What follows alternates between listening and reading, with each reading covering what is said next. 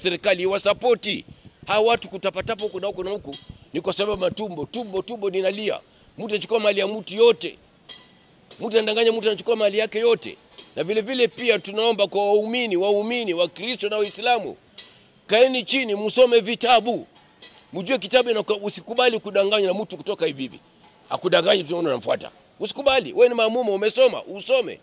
Sisi Waislamu tuwaambia kwamba ikra, ikra, soma. Kusoma ni kitu muhimu sana. Hauwezi kusoma mbele ya watu kuhubiri ama kusumuza kabla ujue utahubiri aya gani, hadithi gani.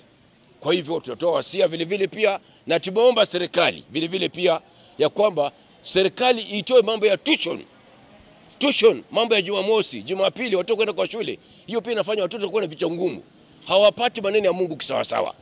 Vile vile pia tukaomba kwamba shule zikishafungwa, maprincipal wa mashule na ma headmasters wasije wakalazimisha watoto kwenda kwa shule ili kuwapelekea pesa ya kula tu. Hapana, wawache watoto shule kishafungwa, zimefungwa kama vile waziri wa elimu anavyosema, ili watoto pia wapate kusoma Sunday schools na madrasa.